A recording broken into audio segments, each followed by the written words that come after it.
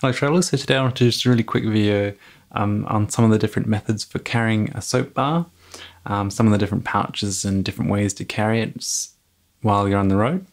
So if you have a Dr. Bronner's soap bar like this one here, or you have a J.R. Liggett's uh, shampoo bar, you will want to find a way to carry this without it sort of getting the inside of your toiletry bag all sticky with the soap residue. So when you finish using soap, often it gets a bit wet and a bit soft if um, you put it into a plastic bag directly after using it.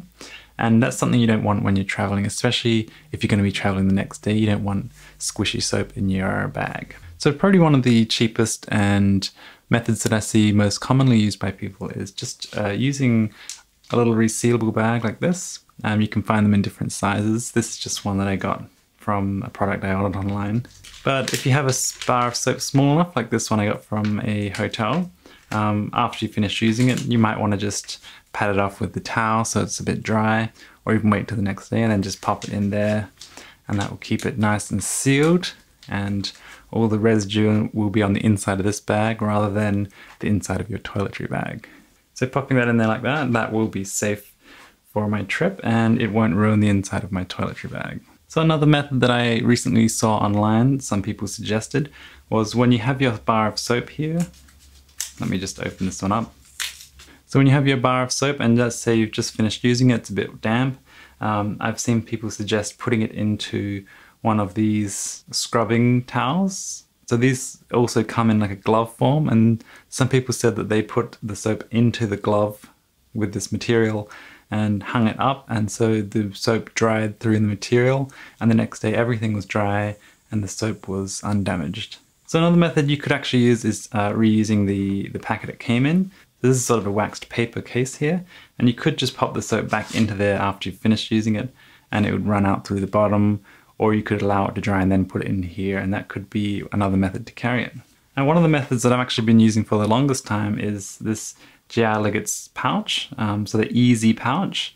Uh, this one comes in a kit with a bar of J.R. Liggett's soap, and it includes this little nylon strip, this little nylon strip here. And the idea is that you put this around the soap like that.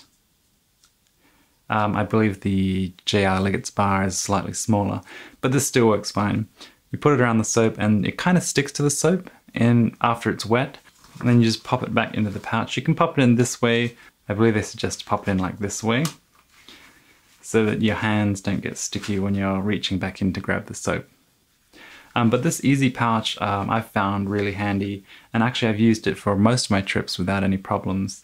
Um, obviously the smaller the soap is you can clip it shut but this one fits in there quite alright and it does dry through there. I haven't really noticed much residue but often what I do is uh, after I've finished using the soap, I'll put this on here and I'll just allow it to dry on the top of there on the sink. And that way um, the next day, usually it's dry enough to pop in there and carry. So one of the newest methods and um, probably one of the more expensive ones, but uh, it could well be worth it for um, the way you travel. Um, this is the Matador soap bar pouch. So it's a proprietary material that allows the soap inside to dry without the water actually seeping out. So the whole thing stays completely dry.